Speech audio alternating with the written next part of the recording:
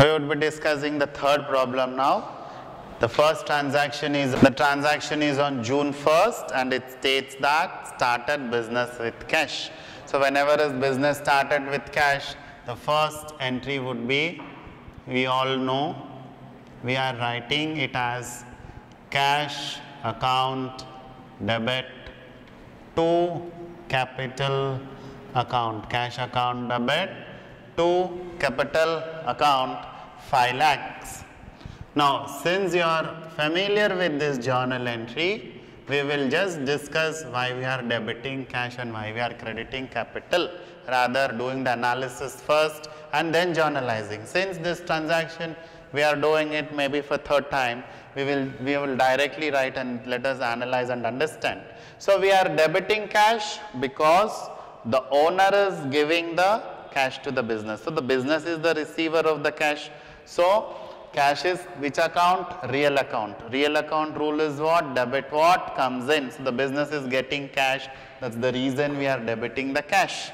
Now, why we are crediting capital? As we discussed that capital is nothing but it is representing owner. The word capital is representing owner. So, owner is the giver of 5, 5 lakhs cash to business. So, what is owner? Giver. So, we have to credit the giver because the owner comes under the category of personal account uh, which we represent with the word capital. So, capital is personal account using that we have credited capital. Narration would be being business commenced.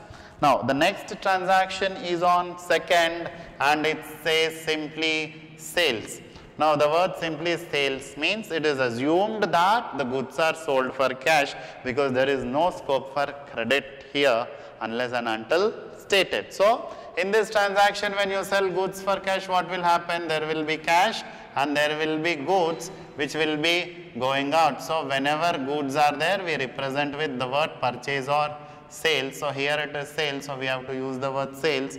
So, when you sell the goods cash is coming in. So, real account says debit what comes in so, cash account debit and goods are also real account, they are going out because you are selling, you are crediting them and the amount being 30,000 being your narration would be being goods sold for cash, being goods sold for cash.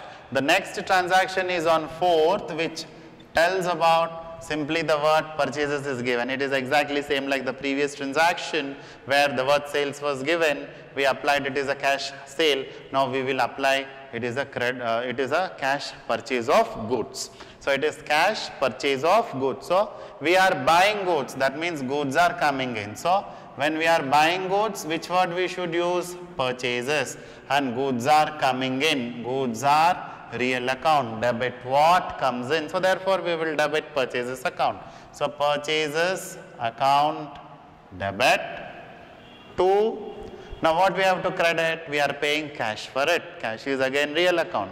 So credit what goes out. So we are apply, we are crediting cash because when we are buying goods we are paying cash and it is going out.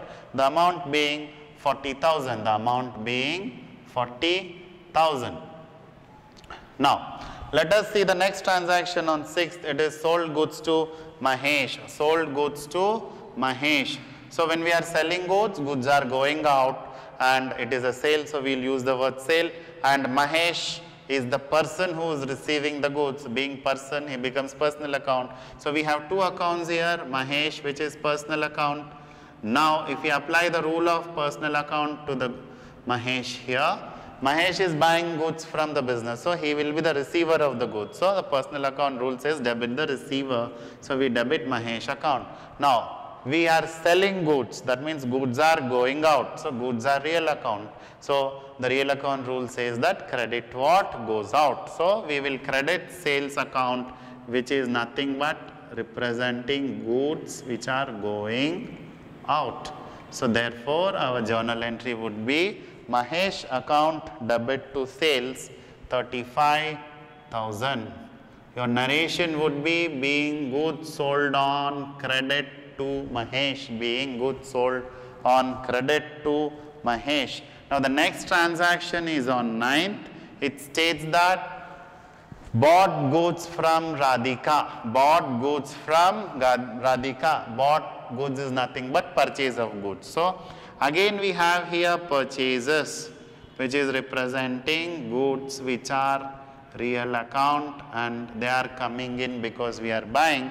So the real account rule of debit what comes in we are applying for purchases and that's why we are debiting purchases account debit and we are buying from whom? We are buying from Radhika. Radhika personal credit the giver. We will apply and credit Radhika here. So your entry would become purchases account debit to Radhika account. The amount being 25,000. The amount being 25,000.